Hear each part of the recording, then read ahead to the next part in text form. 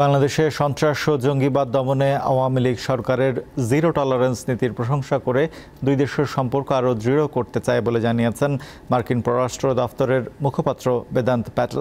স্থানীয় সময় বৃহস্পতিবার নিয়মিত সংবাদ ব্রিফিংয়ে এসব কথা বলেন তিনি।